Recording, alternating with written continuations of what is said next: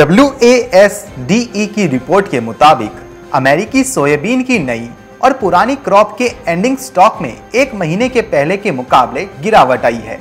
हालाँकि, वैश्विक सोयाबीन के एंडिंग स्टॉक में हल्की बढ़त है। शुक्रवार को यूएसडीए ने 2021 में ब्राज़ील में सोयाबीन का उत्पादन 126 मिलियन मैट्रिक टन रहने का अनुमान जताया है। पिछले महीने यूएसडीए का यही अनुमान 125 मिलियन मैट्रिक टन का था। वहीं ब्राज़ील का सोयाबीन का व्यापारिक उत्पादन अनुमान 124.8 मिलियन मैट्रिक टन का है, जहाँ यूएसडीए के ब्राज़ील के सोयाबीन उत्पादन अनुमान में पिछले महीने के मुकाबले बढ़ोतरी हुई है। वहीं अर्जेंटीना के 2021-22 के उत्पादन अनुमान में भी बढ़ोतरी हुई है। मई महीने में यूएसडीए ने अर्जेंटीना का सोयाबीन उत्पादन का अनुमान 42 मिलियन मैट्रिक टन का आंका था और व्यापारिक उत्पादन अनुमान 42.2 मिलियन मैट्रिक टन का था। लेकिन यूएसडीए के जारी ताज़ा आंकड़ों से पता चलता है कि 2021-22 में अर्जेंटीना का सोयाबीन उत्पादन मई महीने के मुकाबले बढ़कर अब 43.4 मिलियन मैट्रिक टन का लगाया गया है। 2021-22 में अमेरिका में सोयाबीन का एंडिंग स्टॉक 205 मिलियन बुशल था और व्यापारिक उम्मीद 217 मिलियन बुशल की थी। मई में यूएसडीए ने अमेरिका का सोयाबीन का एंडिंग स्टॉक का अनुमान 235 मिलियन बुशल होने का लगाया था।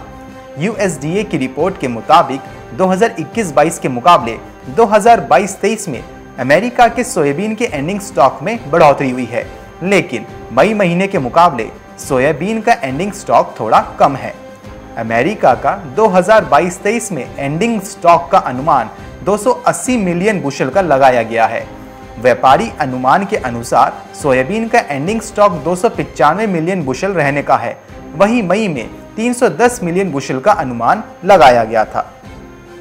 यूएसडीए की रिपोर्ट के अनुसार 2021-22 में पूरे विश्व में सोयाबीन का एंडिंग स्टॉक छियासी मिलियन मैट्रिक टन रहने का अनुमान है, जो कि मई महीने में यूएसडीए ने पिचासी मिलियन मैट्रिक टन का लगाया था और व्यापारिक अनुमान पिचासी मिलियन मैट्रिक टन का है।